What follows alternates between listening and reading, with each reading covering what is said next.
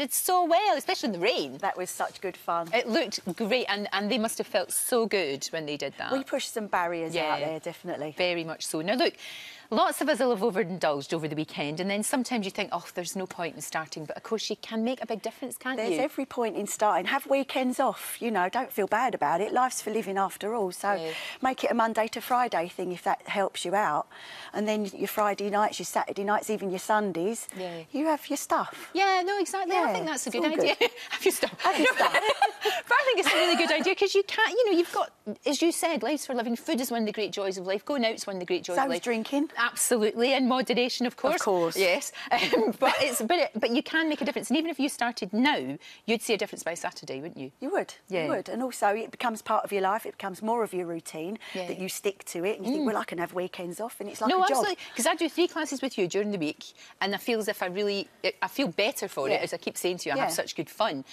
Last minute tips as we head into the last week of the. we- We know from the girls this is for life, but the last week of this particular thing, what would you say people should be I doing? would say get smart about your carbs. Right. Um, swap your white, white rice for brown rice. Yeah. Get your sweet potatoes instead of your normal potatoes, but have your carby meal at lunchtime. Right, okay. Rather than in the evening. Exactly, because that's what we were talking Yeah. about as well, weren't we? we Yeah, were talking it's about, about meal matching as well, and it's absolutely always best to try and have your carbs earlier in the day, Yeah, sure, unless you're doing your sense. exercise Yeah. at night, and then, Yeah. then Your body burns it off. And also, it's about just, for goodness sake, just dance as if you're. You always say dance, as if Dance nobody's like watching. you don't care, and you know, get reacquainted with the twist again.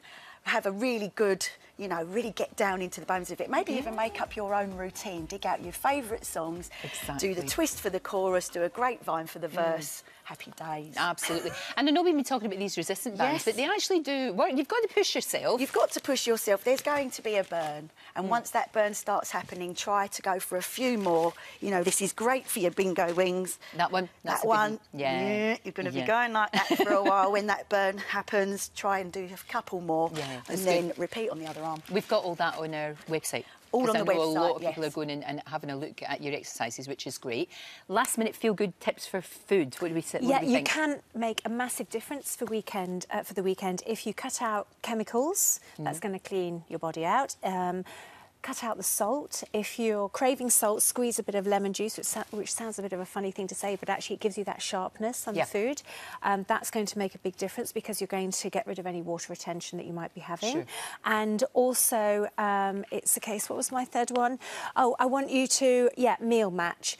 Um, so make sure that if you're sitting at your desk all day long, then you don't need the carbohydrates. Go with the protein and the Right. veggies and the fruit. If you are more active, then make sure that you have the right kind of carbohydrates in the right portion Sure. size.